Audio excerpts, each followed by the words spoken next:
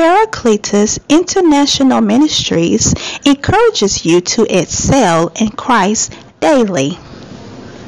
If that thing get too bad for you, God will remove you. Mm-hmm. Because the anointing in your life is going to deal with that situation. Mm-hmm. So God will move you out the way. Mm-hmm. He may promote you to another position on your job. He may give you another job. He may let you retire from your employment.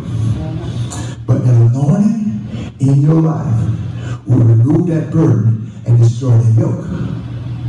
And it, it won't take too long to do it either. Wow. That anointing, that glory. Amen. Praise God. Thank you for, amen. Let's pray. Father in heaven, we thank you and praise you for this opportunity to come one more time in your word.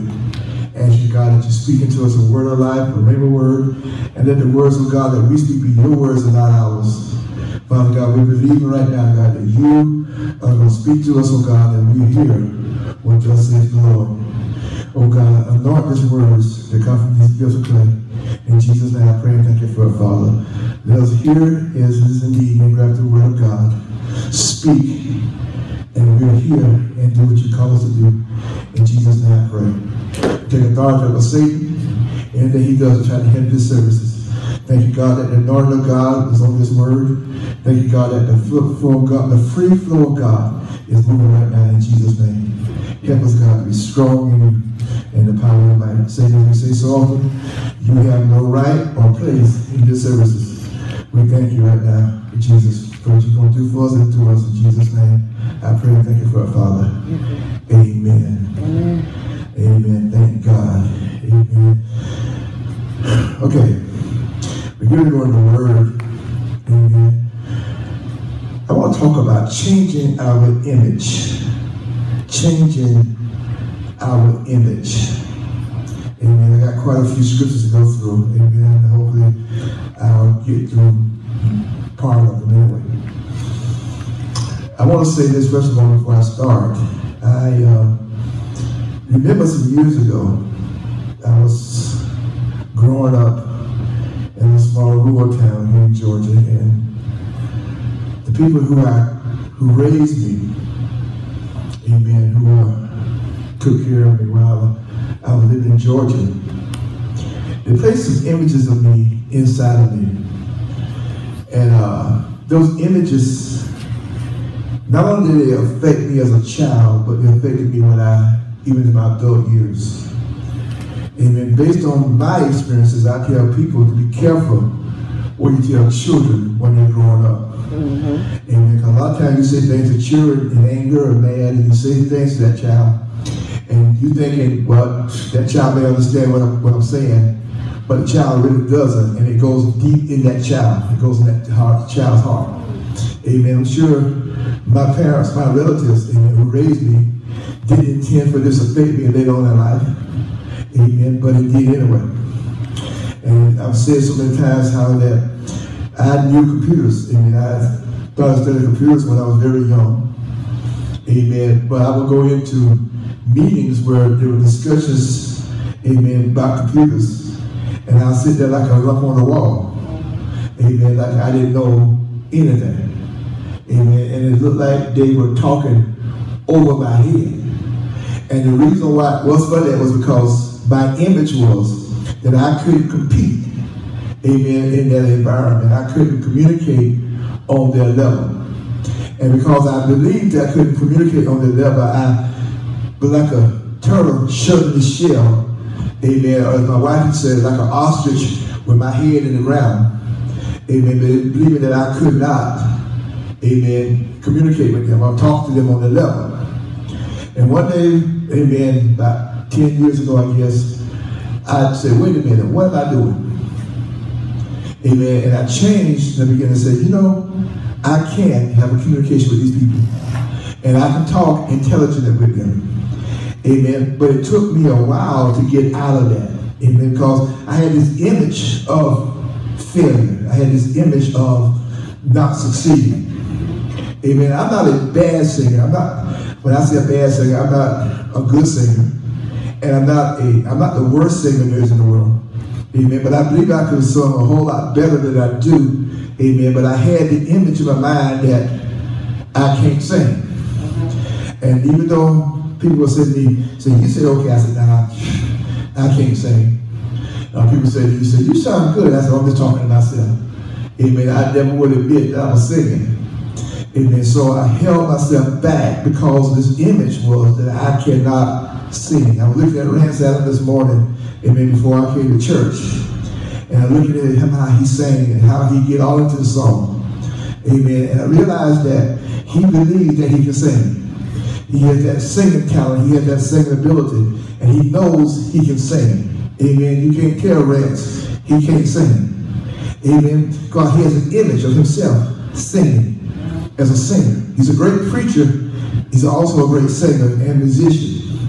Amen. See, and what we do, we allow those images of ourselves to come into our lives and to shape our lives and shape what we do in life.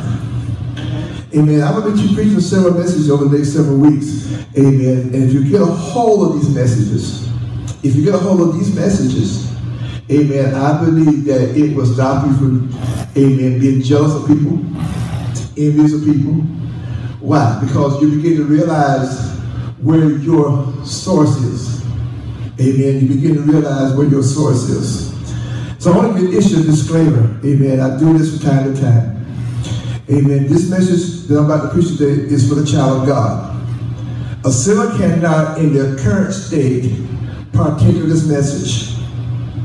However, if the sinner will repent, he or she would immediately become a partaker of the benefits expressed in this message. In other words, this is for the child of God. Amen. And if you if you like what God is going to give us, amen, in these series of messages, amen, you can be saved, amen, and then you can take part, become a partaker of it. But if you are not saved, if you are saved, I should say, amen, and I want you to see yourself doing these things. Amen. I want you to see yourself able to do these things, amen, and change, amen, your circumstances for the better. Now, go read your Bibles, the book of Second Corinthians, chapter 3, and verse 18. 2 Corinthians, chapter 3, and verse 18. Amen. I got mine written down here before me. Amen. 2 Corinthians 3, and verse 18 says, But we all, with open face, beholding as in a glass the glory of the Lord, are changed into the same image from glory to glory, even as by the Spirit of the Lord. Have you seen these commercials on television where they have a mirror, and on one side, let's say you have a black person standing there looking in that mirror, and then on the other side, let's say a black man standing looking in that mirror. But in the mirror, you see an Indian woman. And what they're trying to say through those commercials is that the way you look at yourself outside is not what you really are. Amen. I'm not saying I like the image of the black man with the female woman because I believe a man is a man and a woman is a woman. But the point is that they're saying to the person that when you look at yourself on the outside, Amen. And what you see when you see yourself from other people's perspective, you look entirely different. You look entirely different. So the scripture said that we have an open face, beholding as in a glass the glory of the Lord. So Paul is saying here in 2 Corinthians that we are standing in front of a mirror and we are looking in that mirror and what we're seeing is the glory of the Lord. So when Julius look in that mirror, Julius is not seeing Julius. Julius is seeing the glory of the Lord. And he says, and he says here that, and we are changed into the same image from glory to glory. So as we see Jesus, to see that, so see the glory of the Lord in that mirror, as we look in that mirror and see that glory, we realize that we're being changed into that same image. We're being changed into that same image. God is working in us to bring that image into existence in our lives. Now, it says we're changed in the same image from glory to glory. That means there's a progression. That we're not, today we're not at, at highest level of glory. Amen. But today mean we are higher than we were yesterday. And tomorrow we'll be higher than we are today. We are going, we are, it's a progression. We are moving from glory to glory to glory to glory. And that, that phrase, glory to glory, is a progressive uh, future tense, uh, uh, present tense, future tense. It, it means it's continual thing. It's not a glory to glory stop. It's a glory to glory to glory to glory to glory. And it says, this is happening to us by the Spirit of the Lord. So that said, that what we see in that image, in that mirror, is what we're being transformed into. The Holy Spirit is working in us to transform us into that. We've been transformed into that. Now, what we're we transformed into? We've been transformed into glory. Let's say that again. We're being transformed into glory. We're being transformed into the image of that, of, of that glory of the Lord. Mm-hmm. How is that possible? Let me read 2 Peter 1, verses 1 through 4.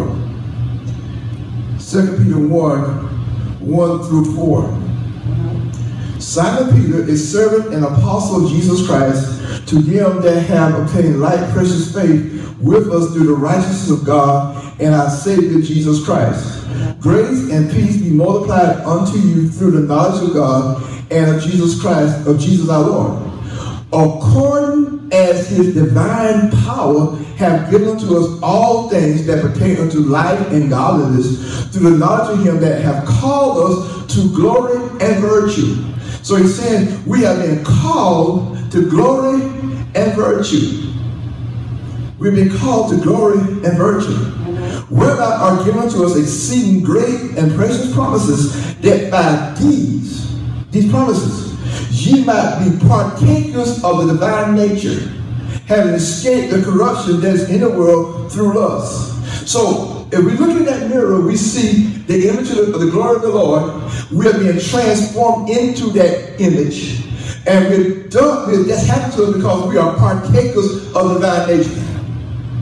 Now, let me say this, and this has nothing to do with a message, but I'm going to say it anyway at this point. There are a lot of people get on Facebook and they ask questions, say, can a Christian sin? Yes, I'll say a Christian can sin. Amen. But what I say is a Christian should not make a habit or practice of sin. Mm-hmm. Amen. Meaning that every day should not be a sinning experience in your life. Amen. It should happen on occasion. So you don't practice sin. But notice, the reason I'm saying that is because we have the divine nature. We don't have a sinful nature anymore. Amen. We don't have a sinful nature. That's why I don't say I'm a sinner saved by grace. I say I was a sinner and I'm saved by grace. I'm no longer a sinner. I don't have a sinful nature. Mm-hmm. The Bible says, now I'm going to talk about this for a moment. The Bible says all our righteousness are as filthy rags. Mm-hmm. And I hear church folks saying, my righteousness are as filthy rags. I don't say that. What? You don't say your righteousness are as filthy rags? Oh no. My righteousness are not as filthy rags. They were as filthy rags. But my righteousness is no longer filthy rags. Why you say that? First John 3 7 says, He that doeth righteousness is righteous even as he is righteous. So if Jesus, Jesus is righteous and his righteousness are not as filthy rags, mine is. So I'm doing him a disservice when I say, my righteousness are as filthy rags. Mm-hmm. No. If I'm in this glory and I've been transformed in this glory, and, and I'm going to talk about that in a minute. If I've been transformed in that glory, that means that what I'm doing righteously is just as righteous as God is righteous. Just as righteous as Jesus is righteous. And you don't say Jesus' righteousness is filthy rags. Why? Because you're not as filthy rags. But my righteousness were as filthy rags when I was doing things in my own righteousness. Right. See, when I'm doing things in my own righteousness, yes, my righteousness are as filthy rags. Because God doesn't eh, honor that. Because I'm doing it within myself. I'm doing it in the flesh. And but when I gave my heart to God and God came in my life and he changed my way of doing things, he made my acts righteous and he said, you are the righteousness of God in Christ. So how can filthy rags be in God in Christ? Can't be. So my righteousness they were as filthy rags, but they're no longer as filthy rags. Mm-hmm. So I got to change my image here. So when I'm doing things of righteousness, I can't look and say, okay, I'm passing this church. That's a filthy rag. I'm singing for the Lord. That's a filthy rag. I'm testifying to the glory of God. That's I can't say that. Right. Why? Because my righteousness are righteousness because they're the righteousness of God in Christ. Right. So I cannot make that my image any longer. I got to change from that image. Mm-hmm. So I can see that what I'm doing is acceptable before God. Why? Because God accepts it. Because I'm doing it by His Spirit. I'm doing it by His Spirit. So I got this divine nature. That means that my nature is no longer my sinful nature. Mm-hmm. What I used to be, I'm no longer no more. I remember some years ago, my wife walked in the house and she was upset with my children about something, and I forget what it was. And she said to them, she said, I'm like my daddy, talking about her physical daddy, a, a biological daddy. She said, I'm just like my daddy. And the Spirit of God spoke and said, now that she's saved, now that she's saved, what he said to her, he said to me was, yes, biologically she may be like her dad, but she's no longer biologically related to her dad. She's now biologically related to the Heavenly Father. And because she's related to the Heavenly Father, she has his nature. She's no longer like her dad. He's like, she's like God, her father. So now, whatever, watch this, you gotta get this. See, my wife says that, she used to say that when she, uh, the children do something, like, for example, if my children would think about going to, doing something to go to jail, and she'll say, I don't like my daddy. And when she telling them, she said, you give trouble, and you go to jail, mm-hmm. I ain't come to see you. Why? I'm like my dad. Mm-hmm. See, I'm not knocking that. I'm just saying, when you got saved, that biological attachment is no longer there. So those things that you used to do when you were not saved, that you got from your biological father, should not be controlling you anymore. Why? Because you have a new nature. Your nature is not changed. Jesus in the third chapter, John said, that which is born of the spirit, flesh is flesh, and that which is born of the spirit is spirit. See, when I was born of the flesh, I was like my dad. I was like my natural dad and my natural mama. But when I became born of the spirit, I became like my divine father. Yeah. I changed natures. I don't have that same nature. That's why people don't understand when a person was in the world and they used to cuss all the time. Yeah. And they give their heart to God and they no longer cuss. Yes. That's because they got a different nature. They don't have that sinful cussing nature anymore. They got a new nature, and that's because that new nature there, what comes out their mouth. And I heard somebody say, they said, you know, when I got saved, and I was talking to somebody, he said, when I got saved, before I got saved, I cussed, I cussed, cussed, cussed. He said, when I got saved, I tried to cuss and couldn't cuss. Mm-hmm. Said, what came out of my mouth was good words. Mm-hmm. Not cussing anymore. Why? Because that nature had changed. Got a new nature. So I got to see myself as divinity. Yeah. I got to see myself as divine. Yeah. I can't see myself as a sinner anymore. Yeah. I can't see myself with that sinful ways anymore. I can't look at myself through those sinful eyes anymore. Why? Because I'm not a sinner. I have to look at myself through divine eyes. I remember one day I was beating myself about something. It was right after my wife had died. And I was on the bed and I was just beating myself down. Now God had already begun to deal with about this. He told me one time, he said, oh, you need to measure yourself up, up against Jesus use Jesus as your measuring stick. And I'm still back saying, well, you know, I really, I can't do that. He, Jesus, he was a, this perfect man. He never sinned. He, he never did anything bad. And it looked like every time I turn I'm sinning. I take one step forward and go two steps back. One step forward, two steps back. And God said, measure yourself up against Jesus. And I'm saying, I can't do that. Jesus ain't doing, Jesus ain't gonna take one step two steps, taking one step forward two steps back. So God finally got tired. He said, Julius, look, what you got to do is stop, stop looking at yourself from your perspective. You got to start looking at yourself from my perspective. He said, when you look at yourself from your, your perspective, you're looking from the outside in. And you're seeing all your weaknesses, you're seeing all your inabilities, you're seeing all your fallibilities when you're looking at yourself from the outside in. He said, I don't look at you from the outside in. He said, I look at you from the inside out. He said, I see a heart that's changed, a heart that's right, a heart that has good intentions. I see a heart that is pure. So you look at yourself from the outside and you beat yourself up. I look at yourself from the inside and I don't see you that same way. So he said, you have to turn and look at yourself from my perspective mm-hmm. and see, yes, you may not be all that Jesus is, but I see you just like Jesus. Mm-hmm.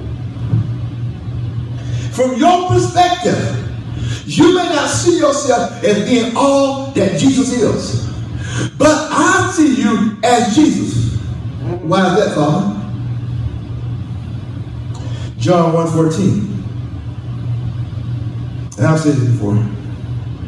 And the word was made flesh and dwelt among us. And we beheld his glory, the glory of the only begotten of the Father, full of grace and truth. Notice what it says. As a matter of fact, let's look at John 1 and 1. It says, In the beginning was the Word, and the Word was with God, and the Word was God. Mm-hmm. And then verse 14 it says, That same Word mm-hmm. became flesh. Mm-hmm. The same Word that was in the beginning it became flesh. Yes. Jesus was not made out of dust and dirt like Adam was. Jesus' body was formed from the Word of God. Yes. So his flesh, amen, was word based, not dirt based. Mm-hmm. Now, 1 Peter 1 23 says, being born again, to us, not of corruptible seed, but incorruptible by the word of God, which liveth and abideth forever. So we have been born again of the same word that was in the beginning. Mm-hmm. We have been born again by the same word that was said in the beginning was the word. We have been born again by that word. Yeah. Not a different word. We have been born again by that word. So what that does is it gives me that divine nature. My DNA is no longer Julius Cannon's DNA. My DNA is God's DNA. Yes. Why? Because I'm born of the word. I'm born of the word. So that word, David said, Thy word have I hid in my heart that I might not sin against you. I said this way. I'm born of your word. I don't have to sin against you. Yes, Lord. See, I'm born of that word. See, what I'm trying to do is change our image and realize that we are more than what it appears when we look through the mirror and see our natural selves. We are made like God. We walk around like God walks. Jesus, the Bible says in 1 John 2 6, we are to walk as Jesus walked. Why? Because we are designed to walk just like he walked. We got his same nature. We're to talk like Jesus talked. We're to live like Jesus lived. We are to be like Jesus lived. Now, what was it about Jesus? We talk about the glory. Okay, let me show you something about the glory. Because this is what's inside of you. This glory is inside of you. Now listen to me carefully. When Jesus was on the Mount of Transfiguration, they saw his glory. That glory shone out of his pores and was so bright that it outshined the noonday sun. Mm-hmm. That was the glory. Then you read over in the book of Acts when Paul was going down to uh, down there to arrest the Christians. It says a light shone round about him. It was so bright it knocked him off of that beast that he was on. Yes, that was the glory. That was the glory. That glory shone through Jesus' body now that glory is knocking a man off of his horse. Mm-hmm. Then you read on further over there in the book of Acts, and Paul is talking to us about getting said, and there was somebody there who was trying to resist him and oppose him. And that glory showed up and made that man blind. Mm-hmm. What are you saying? See, we don't realize what we have on the inside of us. And the reason why we don't realize what we have on the inside of us is because we have this negative view about ourselves. We have this negative opinion about ourselves. We think that we are nothing when God says we're everything. Yeah. See, let me say something to you. You got to understand, as a child of God, you're the most powerful person walking the face of the earth. Yeah. Why? Because the Bible says, greater is he that's in you yeah. than he that's in the world. Yeah. So that's power that's in you. yeah. Is greater than those around you. Yeah. So let's say you go into a job and you have problems on your job. That person with whom you're having problems with, you're the greater of the two of you. Yes. If that person is not saved. Yes. If that person is not born again, you are the greater person then. Yes. So that glory shown through Jesus' pores blinded Paul, blinded another man, mm-hmm. and the doctor says the glory raised Jesus from the dead. Mm-hmm. That glory is in us. So why is it that instead of relying on that glory in us to change our circumstances, we let our circumstances change us? Mm-hmm. We get mad when people mistreat us. We get upset when they talk about us. Mm-hmm. We get angry when they lie on us. Mm-hmm. We want to cuss them out when they tell us something wrong about us. Instead of letting that glory on the inside of us deal with that situation. We want to deal with it in the outside. And what we're doing is we are blocking that glory from coming out. Because we are taking care of it in the flesh. And that glory is not going to show up when we're in the flesh. Yes. But when you're in the spirit, that glory will show up. Yes. And see, you can't be in the spirit fussing at those who are fussing at you, and mad with those who are mad with you, and not forgiving those who have mistreated you. You can't be in the spirit that way. So you got to come out of that situation and let that outside situation control you, and let that glory inside of you take the situation. Give it a shove off. Isaiah 54 16. Behold, I have created the smith that bloweth the coals in the fire, and that bringeth forth an instrument for his work. And I have created the waster to destroy. I'm to say some of the last three words. Waster to destroy. That's a, that's a, uh, this is as if God does that. It's not saying that. We're saying that God created the wisdom that destroys. That God's created. See, Satan was created by God. The devil was created by God. And so God has power over him. God has power over him. Well, I just told you that in the situation you find yourself in, you're the greater of the 2 mm-hmm. So if that person on the other side that's causing problems is not born again, they're operating by the devil. But you're supposed to be operating by God. You can't fight the devil on the devil's terms.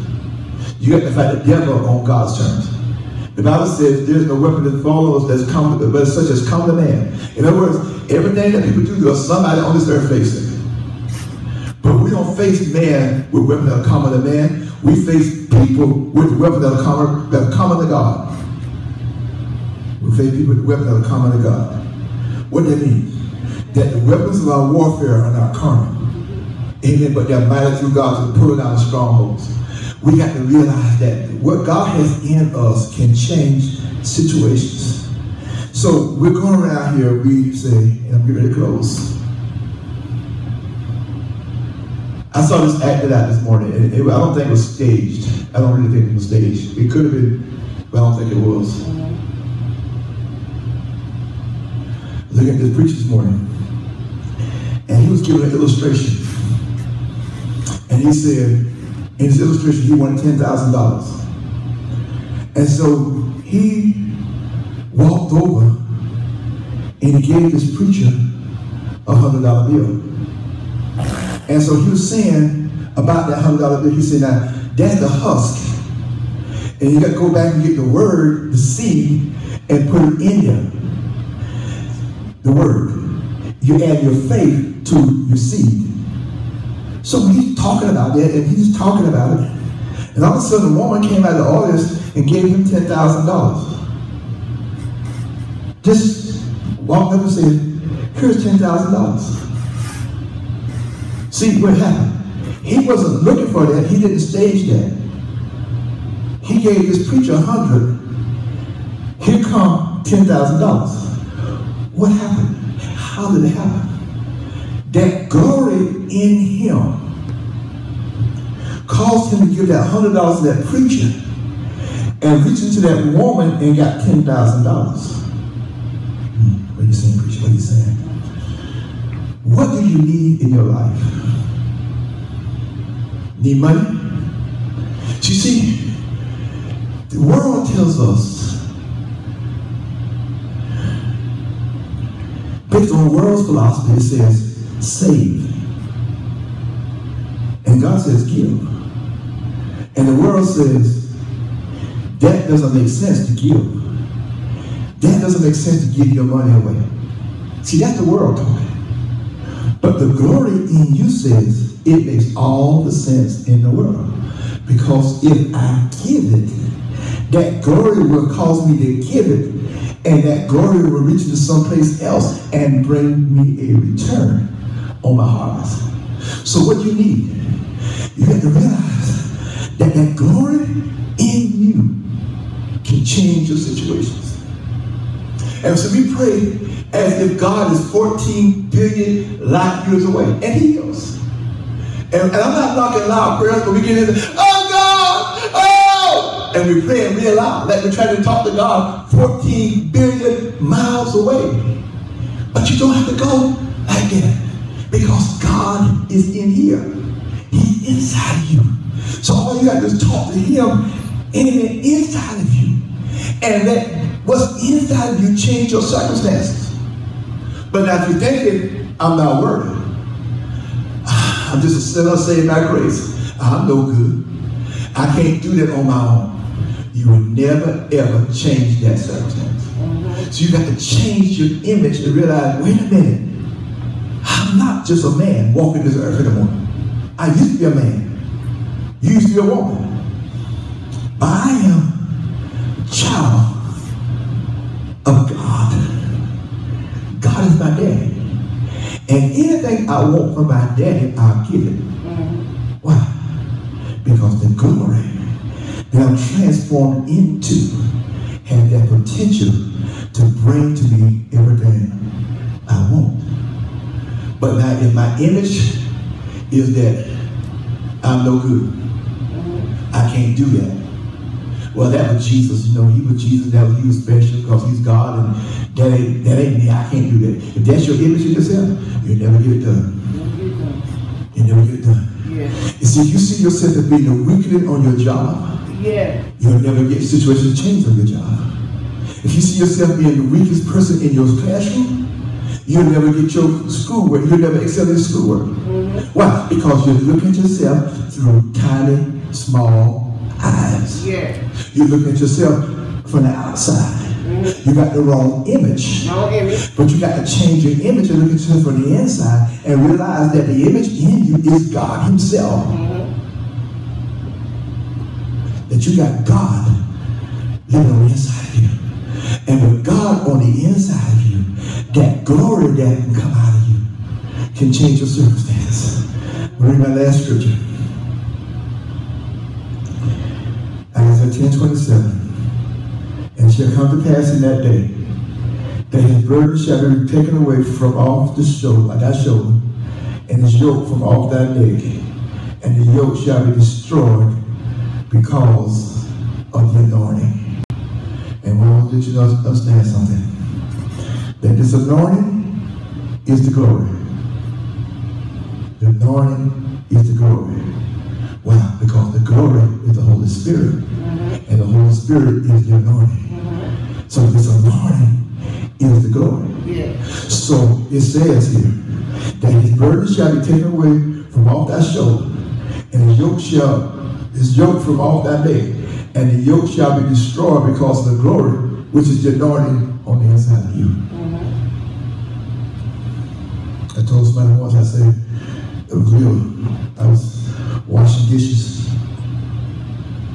one day, and was meditating on this scripture I asked them and I stepped back from the sink and it fell in my spirit. The reason why we have to intercede for people who mistreat us, because the anointing that's on our life will either remove them or destroy them. The anointing that's in our life will either remove them or destroy them. So we intercede for them. We stand between them and God. Say, God, forgive them. That's why it's important that we forgive those who betray us. Because that anointing in us will remove them or destroy them. But now that anointing will become ineffective if I'm going tit for tat with that person, if I'm arguing with that person, if I'm back talking with that person, me and that person striving against each other, against each other, we're talking against each other. The anointing will work. So I got to do it. I said it one time before. I got to become the adult in the situation. Yes. And say, you argue by yourself. I'm not gonna argue with you. I'm not gonna fight with you. I'm not gonna fuss with you. I'm not. I'm gonna be the adult in the situation. And I'm gonna pray for you. Because I know what could happen if you continue on doing what you're doing. This yoke of telling somebody this the other I said, you know, you get the anointing in your life. In that situation in your job, that anointing will take care of it. I said, but you got to pray and ask God, hold his hand back. I said, but now I'll tell you something. If that thing get too bad for you, God will remove you. Mm-hmm. Because that anointing in your life is going to deal with that situation. Mm-hmm. So God will move you out the way. Mm-hmm. He may promote you to another position on your job. He may give you another job. He may let you retire from your employment. But that anointing in your life will remove that burden and destroy the yoke. And it, it won't take you long to do it either. Wow. Anointing, that glory. See, and see this. When you understand what you have in you, the glory that's in you, that it can feed you when you're hungry, clothe you when you're naked, shelter you when you have no shelter, give you a car ride when you have no vehicle to ride in, give you a job when you need a job, give you money when you need money. When you realize that the glory that's in you can do that, there's no need to be jealous. There's no need to be envious over anybody. Because the glory in you will bring you what you need mm-hmm. in your time of need. Yes. That glory will rise up in you. Yes. But you got to change your image Yes. and realize that you have a divine nature. You got to realize that. If you listen to me and you're not saved, Invite you to know this Jesus. Yes. Amen. This is the best life on the planet. Yes. I'm not ashamed of him. I'm so glad he saved me. People look at people who say say, I can't see how y'all live like y'all live. Yes, I'm sure you can. But when you get a bite out of Jesus and you really let him in your heart. You be glad that he came to your life and you be upset yourself that it took you so long to come to him. Yes. Why? Because he had changed you. Yes. The Bible says in Mark 10, he says, when you give, it'll give you wonderful. Yes. But also, persecution will come along with it. Mhm. You see, you got to realize that being saved, you got an enemy. That one that he act like he's your friend now. Give you cigarettes when you want a cigarette, give you beer when you want beer, give you drugs when you want drugs. When you give your heart to God, that person has not given his heart to God or her heart to God. So now they become your enemy. And instead of giving you things, they give you hell and torment. They give you trouble. They aggravate you. But you know what? Living for Jesus is so much better than all of that torment, all that pain and misery that person causes you. So much better. So won't you today, if you don't know Jesus, just simply pray this simple prayer with me. Father, in the name of Jesus, I admit that I'm a sinner. I acknowledge that I've sinned against you. And I confess Jesus Christ is Lord. I believe that He died for my sins. He rose by justification. Yes. And I stand before you now as a child of the living God. Yes.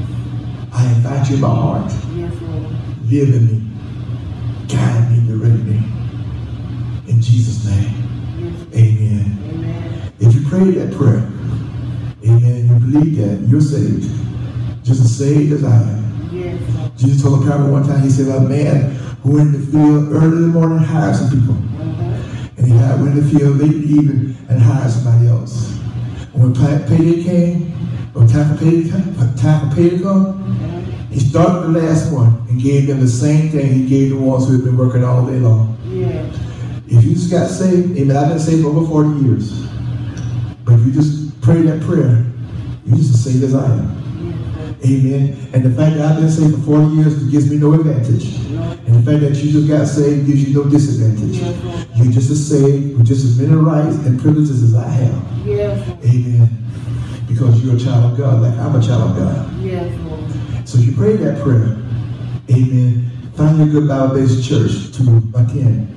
Amen. As I say each week, amen, if you don't have a church to go to, we're located at 1011 West Broad in the city of Albany, Georgia.